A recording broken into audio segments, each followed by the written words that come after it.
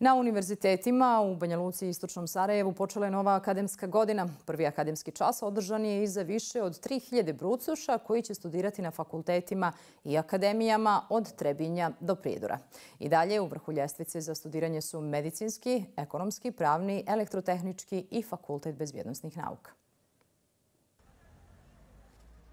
Na Univerzitetu u Istočnom Sarajevu 1262 brucoša, što je za 10% više u odnosu na prošlu godinu. Među njima i beograđanin Lazar Stojanović koji je upisao studij medicine.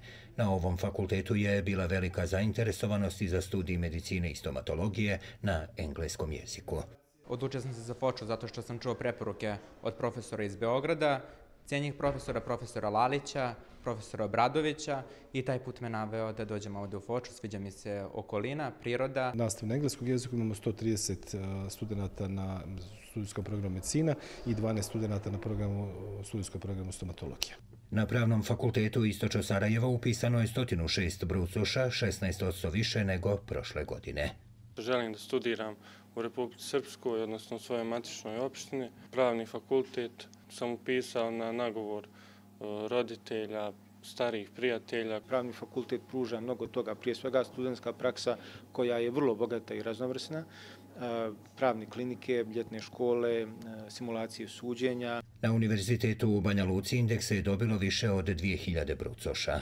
Zaista mi smo zadovoljni upisom u jeli, na sva tri upisna roka i zaista ovom prilikom želim sreću svim našim studentima i da uspješno završavaju svoje obaveze na fakultetima. Iz resornog ministarstva najavljaju mjere na rješavanju istaknutog problema malog broja zainteresovanih za studij srpskog jezika i književnosti kao i za neke od studijskih programa humanističkih i prirodnih nauka.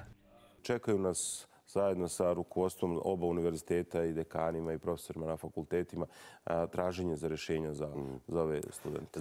Na 34 akademije i fakulteta Univerziteta u Banja Luci i Istočnom Sarajevu studira više od 20.000 studenta iz srpske zemalja u okruženju i cijelog svijeta.